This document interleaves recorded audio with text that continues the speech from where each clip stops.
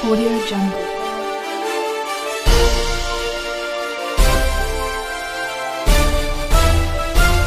Audio Jungle.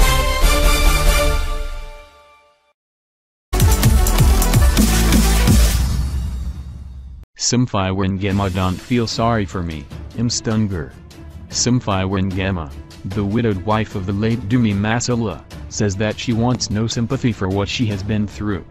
The young actress took to Instagram to let her supporters know not to feel sorry for her, because she has never felt sorry for herself. I know that this cross has my name on it. It's for me to carry. I've always kept my crown on my head, not once did I let it fall because I know who I am, she said. Simphiwe lost her beloved husband, Dumi after an attempted hijacking went wrong in August 2017. Since then, Simz has shared her pain, triumphs and personal struggle coming to terms with the loss of her husband on Instagram. The actress went on to say that she has overcome every obstacle she has faced. Yesterday, Simz celebrated the life of